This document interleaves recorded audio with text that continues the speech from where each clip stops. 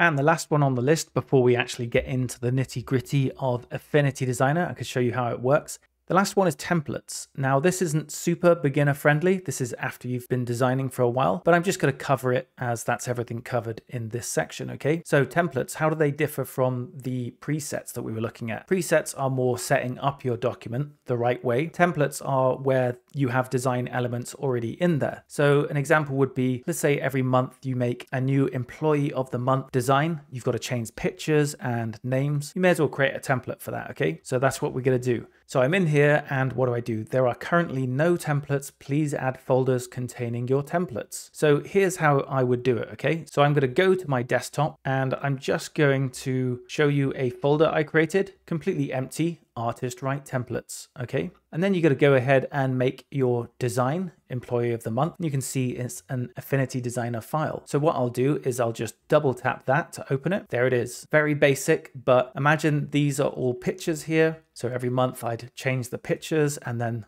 the names for the new people that are going to be employees of the month. Okay. So it's already a file. I just need to save it as a template. So what I'm going to do is going to go up to file and then I'm going to export as template.